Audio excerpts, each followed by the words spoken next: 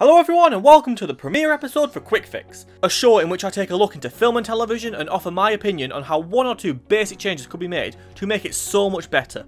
Episode 1 will be taking a look into the movie Hereditary. Hereditary is a horror film which gathered so much praise in the festival circuit that it was able to acquire a cinematic release. The buzz around the film was claimed to be one of the scariest films in years, and the trailer which was released to YouTube definitely supported that claim as it left many audiences disturbed and horror fans like myself eager to see the film. And there's no doubt that for the most part this is a brilliant film.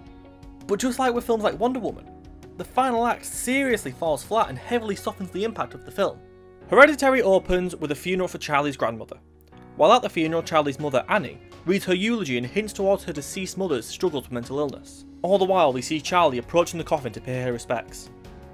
Charlie quite clearly has a number of mental illnesses, including but not limited to autism, which is made very apparent by her audiovisual tic via the clicking and her overall shyness. During the eulogy we see her drawing, a technique used to calm yourself in highly stressful environments to prevent the effects of things like sensory overload or panic attacks. We also see during this scene her father, Steve, closing her sketchbook, preventing her from using her distraction method, which instantly tells us a lot about his character. That he doesn't understand mental illness and the small coping mechanisms people with them use to function better in society. But it also shows us that he wants his children to show respect at a funeral and in theory other important events also. Just the simple act of closing a book gave us so much information to his character. Also in this scene we have Annie saying this line. She was also incredibly stubborn, which maybe explains me. Hinting towards what the name Hereditary is in reference to. At this funeral we also see warning signs to the film's biggest problem. While Charlie is paying her respects to her grandmother, there is a man in the back watching her and giving a very unsettling smile.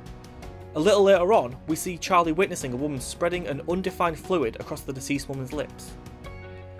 These are members of a cult, which I'll come back to later. Throughout the first act of this film, we see the family going about their lives, and the strange atmosphere is ever present, and a feeling of unrest is made when we get our first glimpse of the real biggest problem of the film. Charlie is sat in her room when suddenly a tiny spotlight of blue light dances around her walls. For the time being, it doesn't seem like much, possibly just her imagination acting up. But I'm not exaggerating in any way when I tell you that this is a Demon King. Yes, seriously. At the time this is happening, we see her mother seeking counselling to help better deal with her grief, but she rejects the counselling after the first group meeting. Later on in the film, we see Charlie's brother, Peter, who is preparing to leave for his friend's party. Annie pressures him into taking Charlie with him, and he reluctantly agrees. When they arrive, Peter leaves with his friends to go get high, leaving her on her own, with the sole instruction to eat cake, this cake, however, contains nuts, something which she is allergic to. Panic ensues as Peter races to get her to a hospital, but tragedy strikes when Charlie opens the window and puts her head out in a feeble attempt to try to breathe, resulting in her head making impact with the metal pole at high speeds. Peter, realising what has happened, he shuts down. He doesn't know what to do and stays reserved within himself. Slowly, he drives home and leaves the car with Charlie's body still inside, outside the front door and climbs into bed, hoping to wake up from this nightmare. The following morning, Annie wakes up to find what remains of her daughter, and we get what is quite possibly the most disturbing image I've seen all year. That image being the bloody decapitated head of this young girl swarmed by ants. The repercussions of this horrible accident is the isolation of Peter with his family and the audience. Following this incident, he barely appears in the film for a good half hour, and instead we're following Annie as she returns to the support group seen earlier in the film, only to leave before entering the building.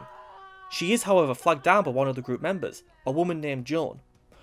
Joan is the only person who Annie leans on to talk through her trauma. She blames her son, and her husband is at a loss for words most of the time. The only person she thinks she has at this time is Joan. What's really interesting about this section of the film is the name Hereditary and its actual meaning. Mental illness, sadly, is an affliction which can be passed down from family members. Sometimes the symptoms won't appear until much later in life. Take schizophrenia or clinical depression for example, which Annie clearly has as it's illustrated throughout the film, or autism, something which Charlie is afflicted with, and based on the description Annie gives about her mother, we can reasonably assume that she had autism throughout her life also.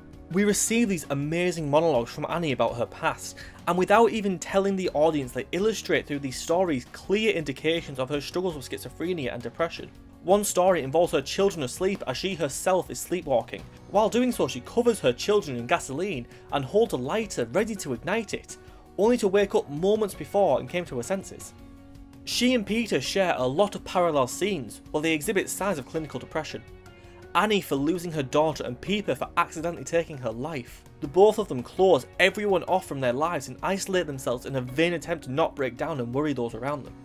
Symptoms we see in Annie are a loss of concentration. Since the start of the film she has been working as an independent artist and has been very focused on completing a project in time for an art show.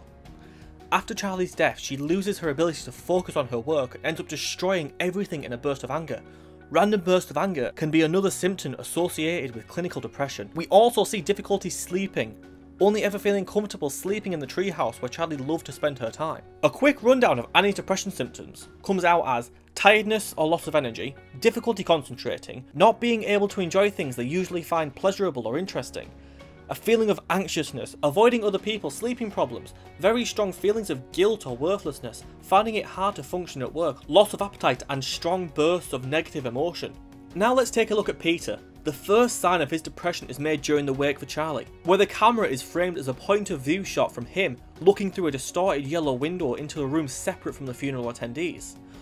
Obviously, him keeping separate is due to a large portion, if not all, of the people at the wake, blaming him for Charlie's death and the camera is being used to show his descent into depression. After this point of view, the camera moves to the main room with all the guests. The guests can be seen in the foreground on either side of the frame, while Peter is pinned mid-frame in the background, only able to be seen through the yellow tinted window looking through. It's a masterfully composed shot, which illustrates his isolation perfectly. This is also paralleled with a sudden cut to Annie, lying alone in her bed, away from the guests at the wake, isolating herself as well. And then the camera cuts again later in the day to show Steve seeing the last guests out of the house and closing the door behind himself, leaving him isolated as well, despite the fact that his wife and son are still in the house. Other symptoms of depression we see in Peter are difficulty sleeping, with him seeing and hearing Charlie at night in his room, and having nightmares of being swarmed by the same ants which were found swarming Charlie's head. A quick rundown of his symptoms looks like a tiredness and loss of energy, sadness that just doesn't go away, a loss of self-confidence and self-esteem, difficulty concentrating, not being able to enjoy things they find pleasurable or interesting, feeling anxious all the time, avoiding other people, feeling of helplessness or hopelessness, sleeping problems, very strong feelings of guilt or worthlessness, finding it hard to function in school, a loss of appetite, a loss of sex drive, a lack of personal hygiene, and strong bursts of negative emotion. At this point in the film, everything is coming together nicely by a filmmaking standpoint, and it's rapidly becoming one of my favourite films of the year. So now I ask, what went wrong? Things begin to derail with the character of Joan, which I mentioned a few minutes ago. At first, she is introduced as someone for Annie to lean on, someone who has experienced similar trauma and can relate to what Annie is going through. This, however, is shattered, where Joan's true nature starts to peek through, which has begun with the introduction of horror cliche number 812, the Ouija board, which does in fact put Joan and Annie in contact with the spirit. Annie then takes the notes Joan gives her home and performs the ritual to speak with Charlie. Peter, desperate to earn his mother's forgiveness, plays along, while Steve once again proves he has no understanding of mental illness as he tries to stop her in a somewhat aggressive way, which only pushes her further over the edge. This scene would work wonders to develop these characters' personalities and further establish the theme of mental illness. But the impact of this scene with all of the clashing heads with the family members is completely removed because the film is no longer a deep dive into mental illness and is now a supernatural ghost horror film. Complete with lazy jump scares and a plot that gets ridiculously funny. I literally left the cinema for 30 seconds so as not to disturb people who are still interested in this derailed story. And in that lies the issue of the film. Up to this point, this has been a fantastically constructed insight into mental illness putting us in the minds of three different characters, all of who suffer from different levels of illness and trauma. Right from the very beginning of the film, we are hinted towards the illnesses the deceased elderly woman suffered, while also hinting at the trauma Annie suffered as a result of growing up in that environment. We also see a clearly autistic 13 year old child trying to cope with a situation she doesn't fully understand, while her ill informed father mistakenly works against her coping mechanisms. All the while her brother has yet to experience any symptoms, but as discussed earlier, severe trauma can bring dormant illnesses to the surface. I haven't even touched on Peter's schizophrenia. As the film progresses, it's made very apparent that Annie has a grasp on her illnesses and hides them really well, the only indicator being her having no emotion in regard to her mother's death, which can be linked to a number of ailments, but given her daughter and her mother, we can assume that she is low on the autistic spectrum. But her grasp is broken upon seeing her daughter's mangled corpse, Never before have I seen mental illness demonstrated so perfectly in a piece of film. But it's all undone when you introduce the supernatural aspect. At the start of this video I mentioned two strange attendees at the funeral. Well, as it turns out, they, along with Joan and Annie's mother, were all members of a cult in worship to the demon king Paimon. I am not joking.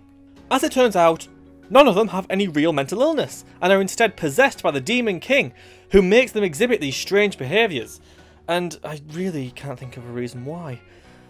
From what I can gather, Paimon needs a young male human host in order to walk the earth to his full power and rule over the human race. If you have no idea what's going on right now, I do not blame you. What started out as a low stakes deep dive into the human psyche has literally turned into the enslavement of all of mankind. The switch is so drastic and the scenes that follow so jarring, it's really funny. When the supernatural aspect is the centrepiece of this story, we learn that Charlie's spirit, or Paimon who is posing as Charlie, is anchored to them via Charlie's sketchbook. And when Annie tries to burn the book, to lay Charlie's spirit to rest for good, her arm ignites in flames. So we now know that to burn the book will mean that someone has to die. Later on in the story, she is showing Steve that he and Peter mean more to her than her obsession over the ghost of Charlie, and makes a show of sacrificing herself to destroy the book. Anyone with half a brain can tell what's about to happen. She burns the book, and instead of herself igniting in flames, Steve ignites in flames instead. It happens so fast, it's so goofy, and it's so predictable. I literally burst out laughing in the cinema.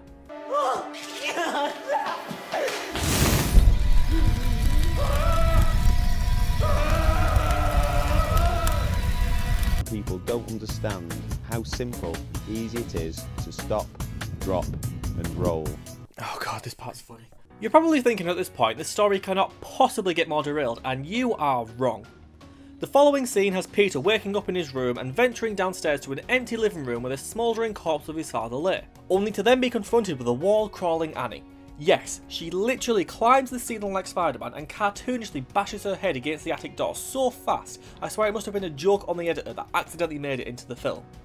Mommy, mommy, please, I'm begging you. I'm begging you to stop.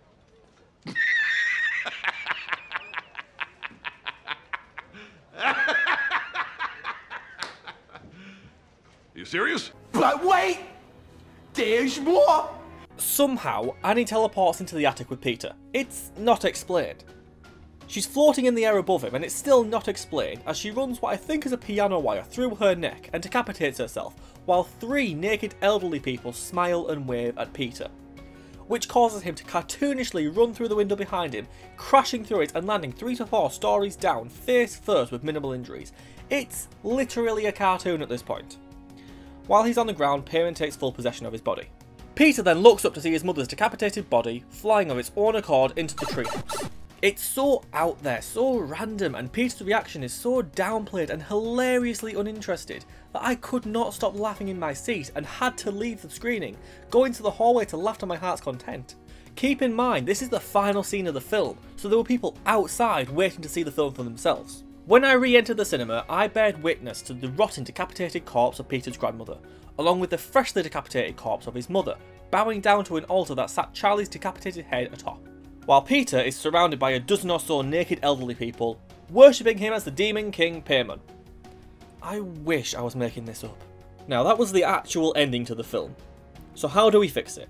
It's really simple. Get rid of the cult, get rid of the Demon King, and stick to the story about mental illness. The final act took a seriously creepy and scary subject matter and turned it into a joke.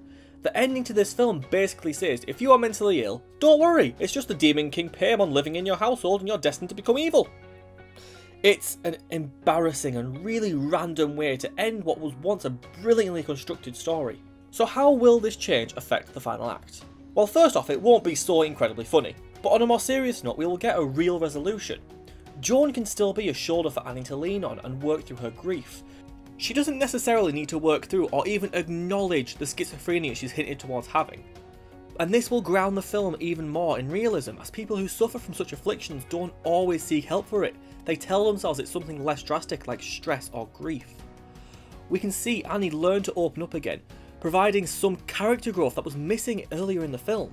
When she first went to the support group after her mother died, she barely spoke and stayed very reserved within herself. She didn't return until someone else close to her had passed. Through Joan, she could have worked up the courage to go back to the group and open up about her daughter's tragic death. She could have a breakdown and do something which we haven't seen her do in the entire film and express her emotions, any emotion, in public.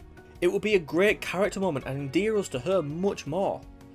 While this is happening, we could have a parallel edit with Peter as he continues to isolate himself from everyone. His dad not knowing what to do on account of being very uneducated on the topic of mental health. And with this scene, while cutting between Peter and Annie, we can see one of them learning to overcome or learn to cope with their trauma, while the other continues to blame themselves and hate themselves for what happened. This scene could end with her beginning to talk about her son, but go quiet because at this point she doesn't actually know how she feels about him anymore. During the film, there is an incredibly powerful scene at the dinner table where Peter and Annie explode at each other. It's the first moment either of them have expressed any real emotion since the funeral, and it's one of the best scenes in the entire film. We can adapt this to coincide with the scene I just created, to let Annie get her negative emotions out in front of Peter and Steve, only for Peter to be hurt by her words and leave in tears. At this point, one of two things can happen. Either Peter leaves and Annie doesn't care, similar to how she didn't care about her mother's death. Or, after he leaves, she can have a chance to calm down from her anger. She can be overcome with regret and break down in her husband's arms in tears. She can have a chance to talk with Peter and they can reconcile their relationship, even if just a little, and together they can join that therapy group and work through their grief together. There will still be hostility between the two of them, which will probably never leave, but they are still taking steps to forgive themselves and forgive each other and be a family again. It's definitely a more positive message to leave the film on. However, this wouldn't be the end. Continuing with the parallel storytelling for Peter and Annie, the final scene can be each of them alone in their respective rooms, with a delusional vision of Charlie watching over them. On the outside, an onlooker like Steve will see they are tackling their grief, but no one knows about their real inner struggles with mental illness. And the longer this goes untreated, the more drastic and vivid their delusions will become. A final topper onto the idea of isolation these two share is that they both suffer from the same ailment, passed down onto him by her, but neither of them know that the other suffers from it. And in the end, the title Hereditary no longer is in reference to the spirit of the Demon King Paimon being passed down throughout the family bloodline. Instead, it's in reference to the mental illness passed down from grandmother to mother to son and daughter, and no doubt to any children Peter might have in the future. It's a bleak ending which is left open because at this point anything can happen. It's definitely better than playing the shock value card so much that the only surprise left is how much longer you have to wait until it ends. I hope you've enjoyed this episode of Quick Fix. If you have, please subscribe to A Whyte Sunset and be in tune soon for some more episodes. Goodbye everyone.